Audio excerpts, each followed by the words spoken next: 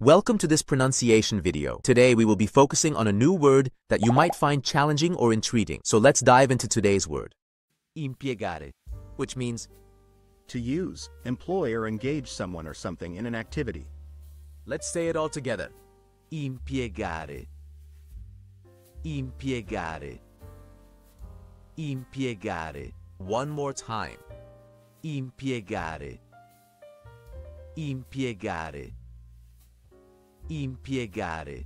Thank you for joining us on this adventure in pronunciation. Remember, language is a journey, not a destination. Keep exploring, experimenting, and expanding your linguistic horizons. We'll see you next time.